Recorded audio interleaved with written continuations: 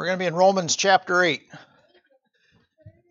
I did this for our church two or three weeks ago, and I titled it called Stinkin' Thinkin'. Stinkin' Thinkin'. How Christians happen to think wrongly sometimes. We as Christians don't think wrongly ever, do we? No, we don't think wrongly. We never think wrong at all, do we? I mean, Romans chapter 8, verses 1 through 8.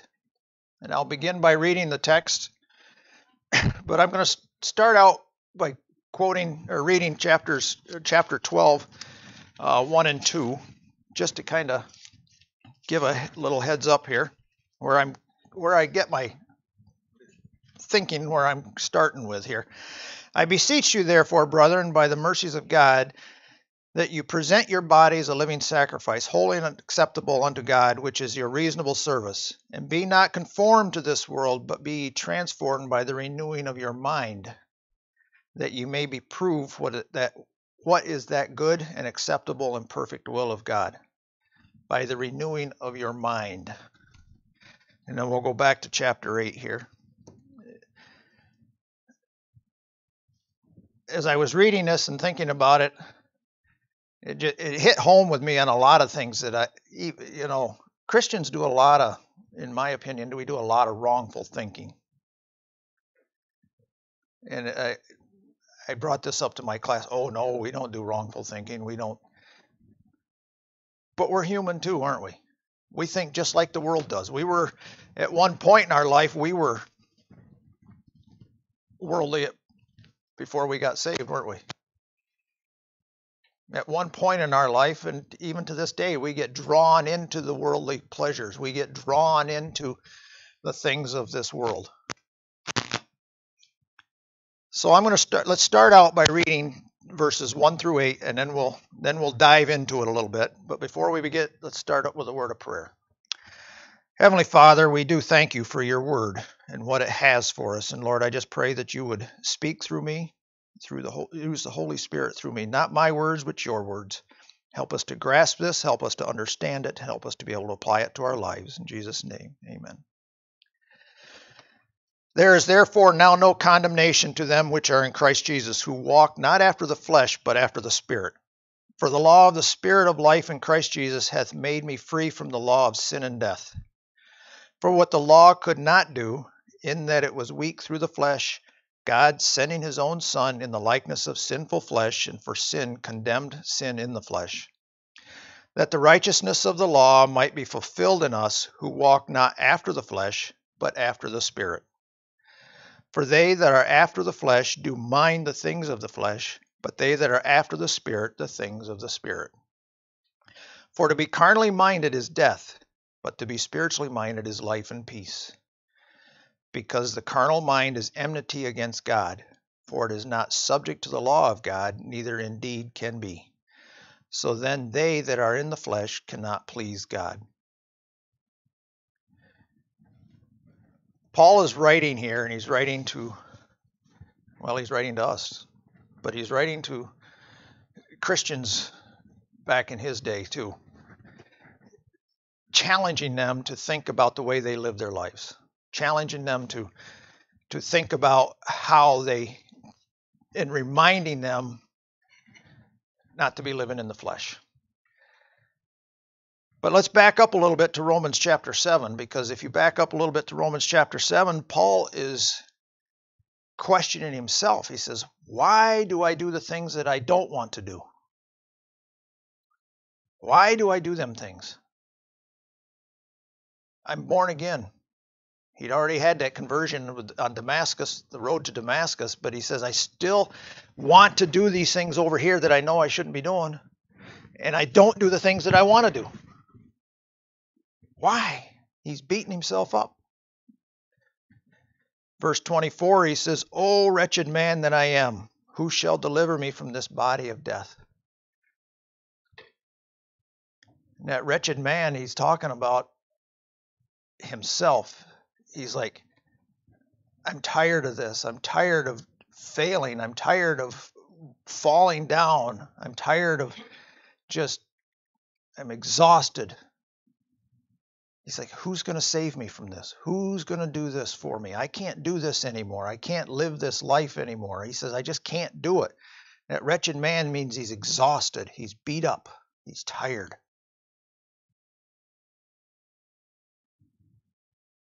And in verse 25, he says, I thank God through Jesus Christ our Lord. So then, with the mind, I myself serve the law of God, but the flesh, the law of sin. There is therefore now no condemnation to them which are in Christ Jesus, who walk not after the flesh, but after the Spirit. He is thankful that there is no condemnation. He is thankful that even though he does the things he doesn't want to do, he's not judged for it because of the death and the resurrection of Jesus Christ. He says, I can struggle with this all my life, but he says, I don't have to give in to it. I don't have to, to yield to it. But I can thank God I am forgiven and I'm not going to be judged for it. Now, I've come up with five ways that Christians think wrongly. To get back to our text in Romans chapter 8. How many of you like to play Family Feud or watch Family Feud? I've watched it with uh, Steve Harvey, and one of the funny ones that come up was he asked the question, "Name something that goes with pork." So he went down the aisle and he come up to this one guy and he says, "Name something that goes with pork," and the guy said, "You pine." Pork, you pine. Everybody else was naming loin and chops and pork chop sandwiches and pulled pork and all this. This guy's porcupine.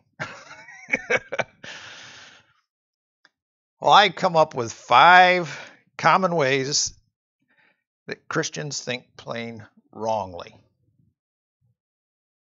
And I'm going to start with number five because you know how that's most how generally everybody goes is backwards. number five is Pharisaical thinking. Everything is external. Look at me. It's prideful thinking. Look at me.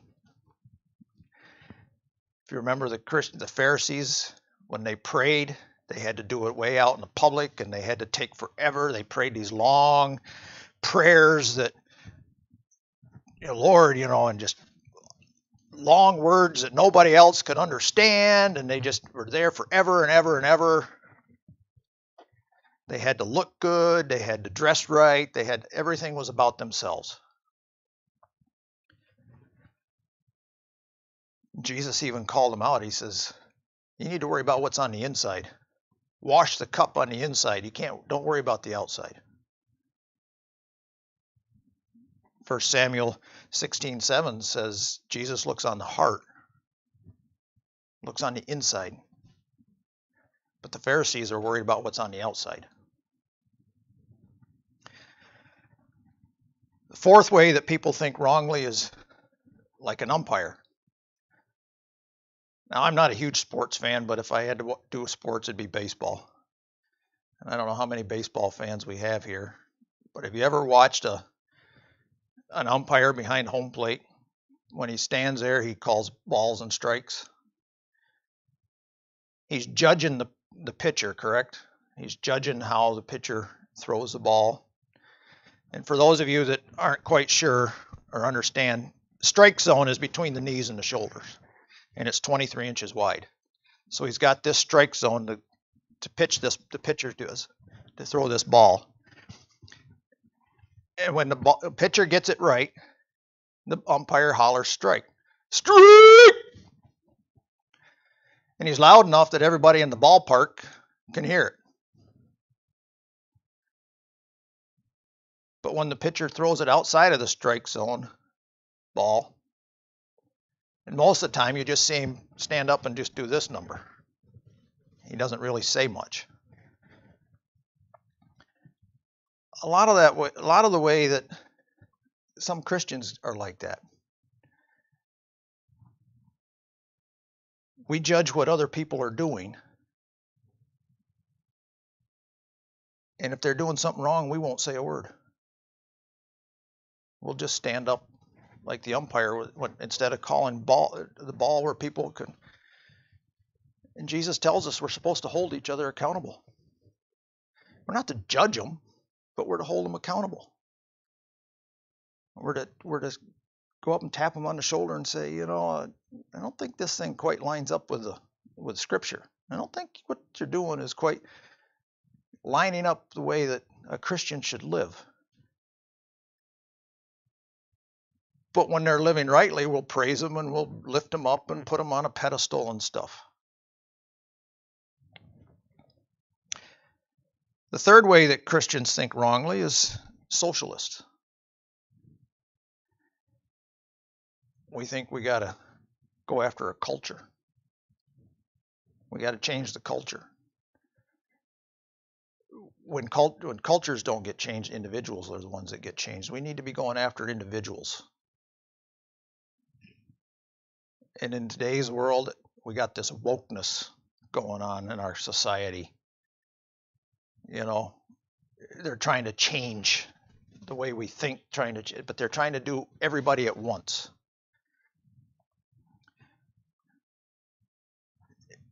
And a lot of our, you got to be careful about who you listen to, as far as who your teach, who the preachers are, because they're watering down our gospel.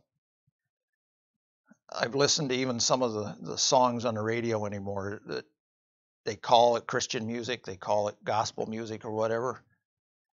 Some of it is so watered down that it's I can't even listen to it anymore. A lot of times when I'm working it, because I drive a semi, I, I turn the radio off and just ride in silence because I can't listen to the other stuff. But we're socialists. We think wrongly. We have to jump in with society. We have to think we're part of this. This is who I am. No, it's not. We're Christians. We're to stand out amongst other people. We're to be in the world, but not of the world. And we need to be working on talking to other individuals, not talking to groups of people. Nothing wrong with going up and standing in front of a congregation, or if you get it like Billy Graham used to go talk to uh, arenas of people. But he, did you ever see him convert a whole arena? He usually reached individuals. It wasn't masses and masses and masses. It'd been awesome if it was masses. but the Lord works on the indiv- individual hearts. The second way that people think wrongly is a historian. What happened? It's in the past, but we can't get over it. We keep bringing it forward. We keep, what happened to me? What happened to them? What happened to you? That happened back there. Leave it there. Learn from it. Let it go. Don't keep dredging it up. It's not going to serve a purpose. Number one is hedonist. We think wrongly because we think like a hedonist. It's all about me, myself, and I. Look what I did. Look what I can do. What can I get out of this? How's it going to serve me? How's it going to work for me? These are all the way Christians think wrongly. And back to our text, it talks about being in the flesh. If you go down to verse 5, for they that are after the flesh do mind the things of the flesh. These are all things that bring up the flesh. These are all ways that we as Christians get drawn into our, our fleshly life. We get drawn into the things of the world.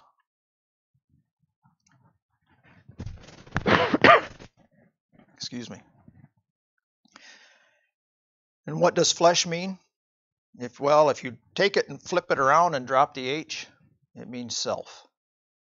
How can I serve self? What can I do for me? What can I do? It's not worried about what can I do for you or for you or for the next person. or what can I do for my neighbor down the road or anything. It's all about what what can I do for me.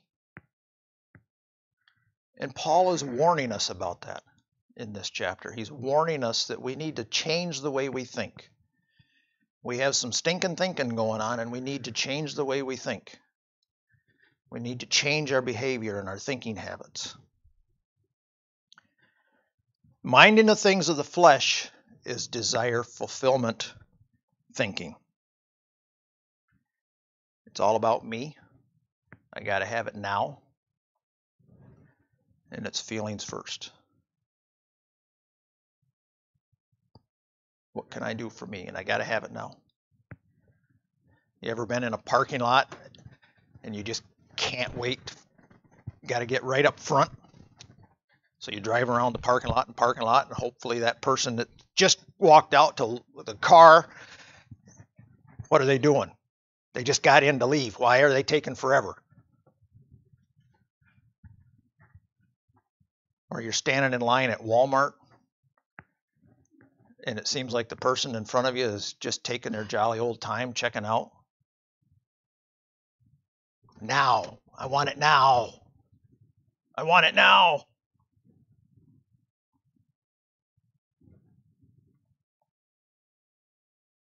Feelings first. It's all about me right now. I got to have that feeling. What what's right for me? It feels good. I don't care how it affects you. I don't care how it makes you feel. As long as it makes me feel good. Paul's telling us, no, no, no, no, no, no. This ain't how we're supposed to think. This isn't how we're supposed to act. This isn't how we're supposed to behave. We're Christians.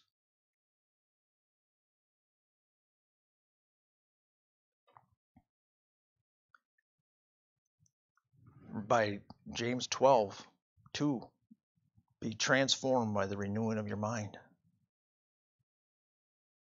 We're supposed to be in the scripture daily so that we can learn how to live, learn how to change our thinking, learn how to change our behavior, learn how to change our attitude. Is thinking me first? Got to have it now.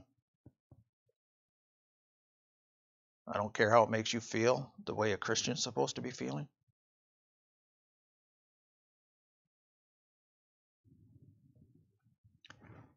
The end of verse 5 there, it says, But they that are after the Spirit, the things of the Spirit. Minding the things of the Spirit is delayed gratification thinking. No, nobody likes that, do they? Nobody likes delayed gratification. You want everything right now. Got to have it now. We can't wait. Can't wait. And how many times have we waited for something and the reward is often greater in the end?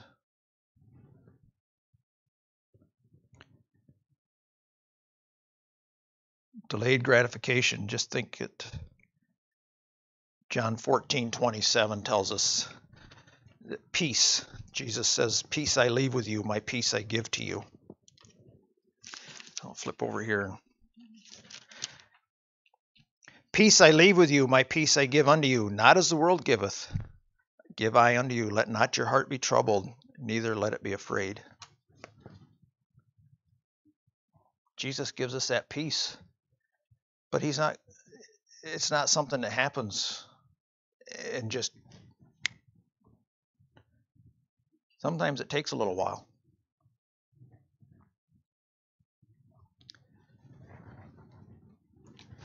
Sometimes we have struggles in our life, and we can rely on Jesus to give us a peace. But does that mean that struggle is going to go away?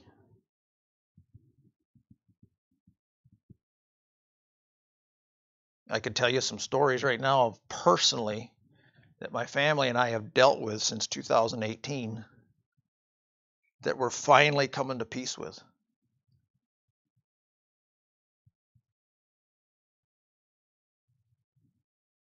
Maybe I'll share a little bit of it in the next service, but it has taken us three years. And there are times when things happen when people will say something that'll bring that back up and the emotions that come with it and the hurt. But we have to immediately go back and say, Lord, we have to give it all back to you because we can't deal with it. We need the peace that you give us, that it's all a delayed gratification.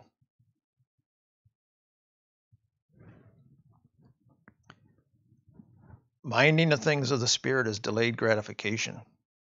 We think of kingdom first. 1 Corinthians 6, 9 through 11. I'll flip over there real quick. 1 Corinthians 6, 9 through 11. Know ye not that the unrighteous shall not inherit the kingdom of God? Be ye not deceived, neither fornicators, nor idolaters, nor adulterers, nor effeminate, nor abusers of themselves with mankind, nor thieves, nor covetous, nor drunkards, nor revilers, revilers, nor extortioners shall inherit the kingdom of God. And such were of some of you. But ye are washed, but ye are sanctified, but ye are justified in the name of the Lord Jesus, and by the Spirit of our God. We know that someday we're going to get to see the kingdom of heaven. But right now we don't get to see it, do we? But that's part of having a delayed gratification because we have that relationship with Jesus Christ because we accepted what he did on the cross for us.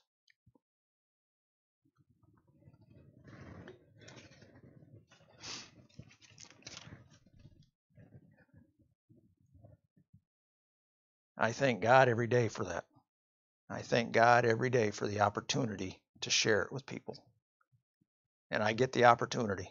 I spent a half hour standing in the truck stop parking lot sharing it with a coworker one day. I may never see the results. But you know what? Jesus died for me. I can at least share that with somebody else. And what happens with it? Who knows?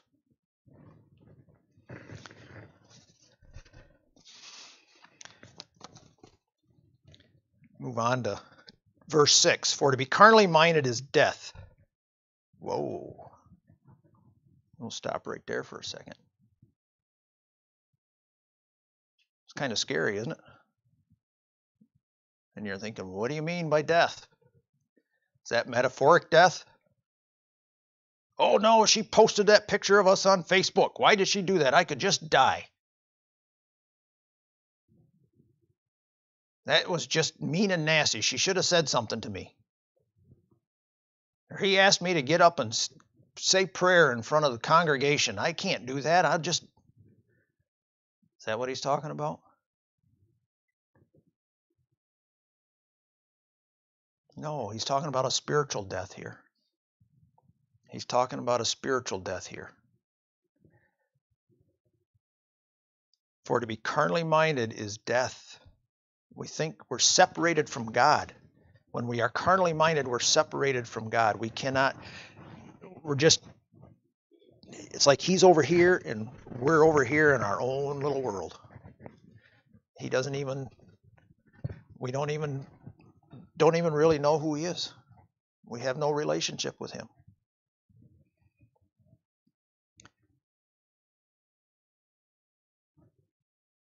The rest of that verse is, but to be spiritually minded is life and peace.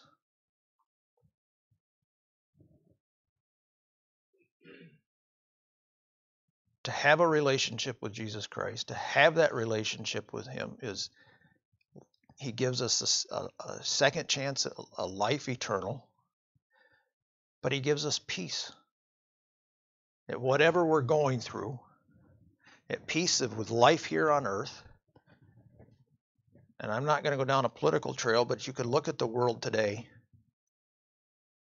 And if we have that life and relationship with Jesus Christ, we can be with at peace with whatever is happening. We may not like it. I may not like what is going on. I may not I may look at it or listen to it and say I don't agree with it. But you want to know something? God still sits on the throne. God still is in charge. And regardless of what the powers that be do or say, God is the ultimate authority. And God put in authority who he wants in authority.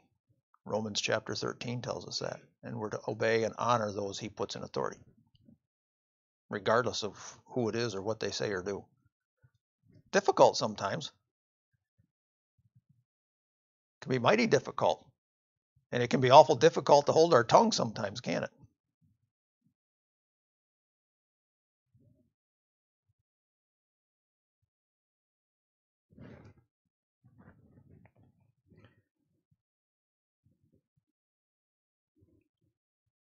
Ephesians 2 1. Galatians, Ephesians, Philippians, Galatians, Ephesians 2. And he hath quickened who were dead in trespasses and sin. He has saved us. That quickened means he has saved us. We were once sinners. We were once lost. We were floundering around, flopping around like fish out of water. And he has saved us. We were dead in our sins, we were dead in our trespasses.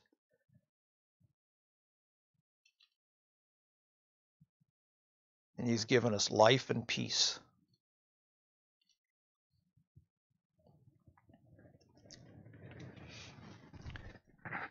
Back to Romans 8, verse 7. Because the carnal mind is enmity against God.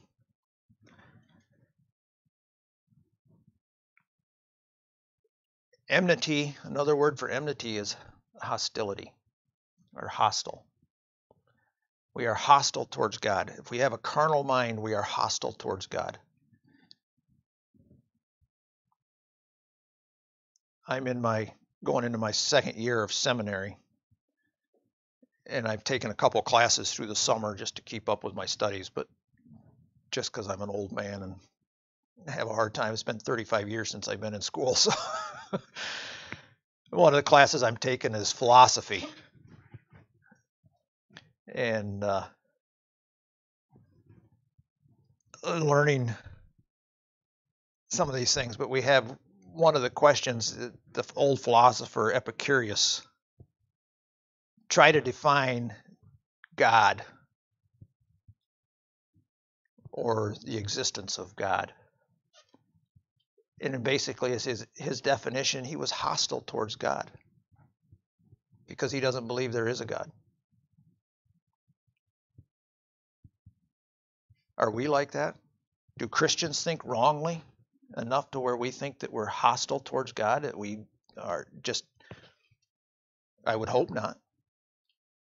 I would hope that once we got saved that our, our relationship with christ was and our salvation was true and honest enough that we would just really mean what we said. That it wasn't just a a fake salvation. Does our walk walk and our talk talk match? Or is it creating enmity? Is it creating hostility between us and God? For it is not subject to the law of God, neither indeed can it be. In verse 8. So then they are in flesh cannot please God. And if we are in the flesh, we don't even try to please God, do we? Because it's all about us. It's all about what we want, what we do, We don't think about anybody else. We don't even think about God. We may have taken that walk. We may have even gone through the steps of being baptized. But did we really mean it? Or was it just a, a facade? Just just a front? Now, fortunately, we at our church just this month actually celebrated the baptism of about seven different people. I think we had three last week and four about three weeks ago. We can praise the Lord for that. I don't know their hearts, but I pray every day that what they did was true and honest. But the one heart that I can worry about is mine. The one heart that you can worry about is your own. What is your relationship with Jesus Christ? Is it true or is it just a fake shell that you're putting on to make it look good? Do we have some of this stinking thinking going on in our lives? Do we think like the Pharisees? Do we think like an umpire? Do we think socialist that we got to be part of the culture? We got to save the whole world. We got to save instead of just one individual. If each one would reach one. Are we stuck in the past? Can we are we dwelling on what happened to us in the past that it's a not in letting us move forward? Are we a hedonist that it's all about me?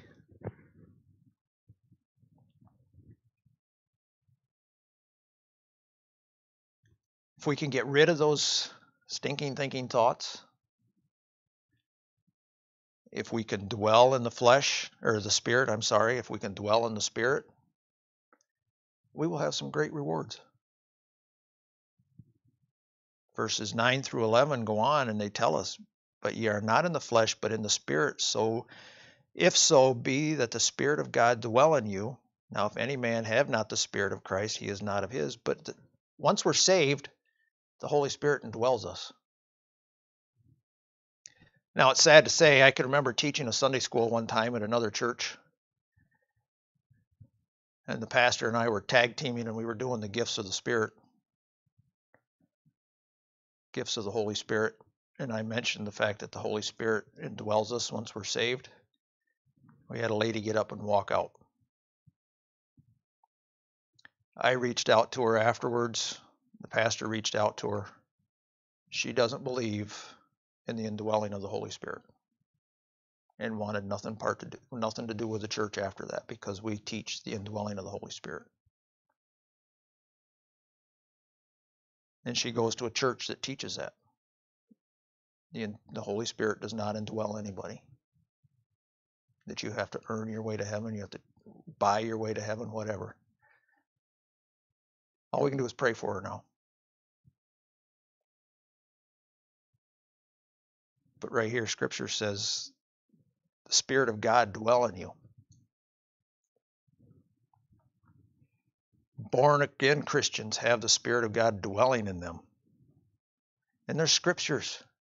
Spend your time in scriptures. You can find tons of scriptures that back that up. I challenge you guys to think. I challenge myself on my stinking thinking.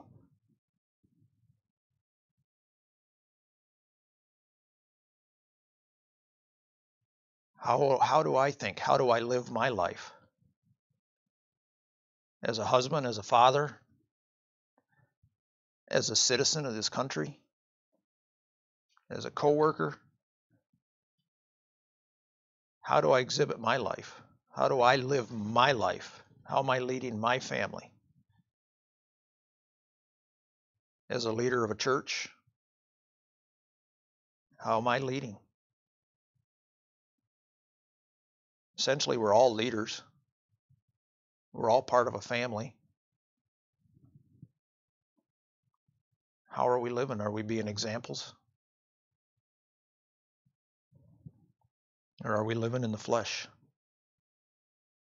It's all about me. Perfect example was this morning at home. I've still got six kids at home. I've got seven out of the house, but I got six at home. And I have a couple of them that decided to fight over the uh, hairspray. They each have their own bottle, but they had to fight over one particular bottle. I was fixing to get the razor out and shave them both bald. there, we'll see who saw it. A case of stinking thinking. All they cared about was themselves.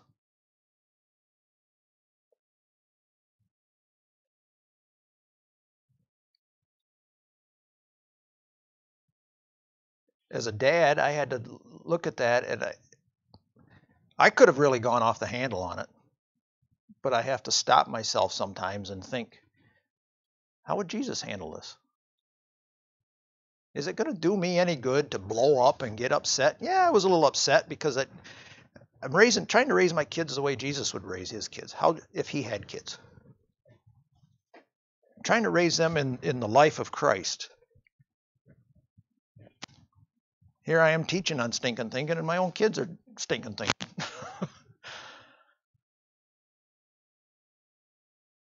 but it's understandable because they're only 10 and 12.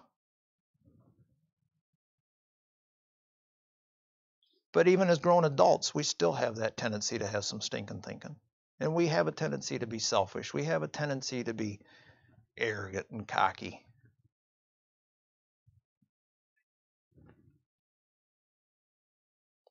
So, my challenge is that we all put our stinking thinking away, that we all get into the scripture of God and we let it work on our hearts. We let Jesus work on our hearts and our minds and change the way we think, change the way we live because we can't do it on our own. Jesus is the one that changes us.